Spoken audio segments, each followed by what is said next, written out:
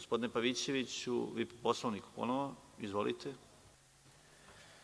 Dame i gospodo narodni poslanici, poštovani potpredsedniče Narodne skupštine gospodine Bečiću, poštovani ministre Verbiću, poštovana gospođo Lužanin i poštovani gospodine Šuvako, povređeni su, gospodine Bečiću, sledeći članovi Poslovnika Narodne skupštine malopre dok je govorio gospodin Zoran Babić: član 283, 284, 285, 286, 287. i član 288, poštovana gospodo.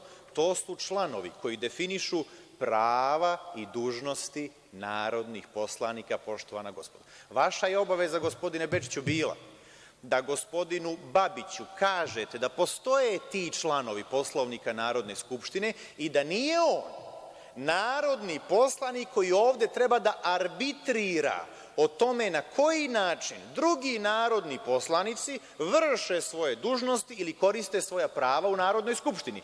A ako vi, gospodine Bečiću, ipak procenjujete da to jeste gospodin Babić, da mu sugerišete onda da postavi pitanje samome sebi – a gde je 115 narodnih poslanika Srpske napredne stranke, poštovani gospodine Bečiću, kojih danas u ovom momentu ovde nema, da gospodin Babić kada se obraća režiji, kamermanima RTS-a, zamoli da se malo taj fokus kamere usmeri ka klupama narodnih poslanika Srpske napredne pa nema ih ovde 17, 18 u ovom trenutku, poštovani gospodine Bečiću, a ukupno ih je 136.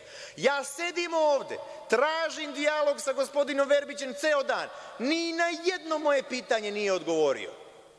E, to je pitanje dostojanstva Narodne skupštine i odnosa izvršne vlasti prema zakonodavnoj vlasti.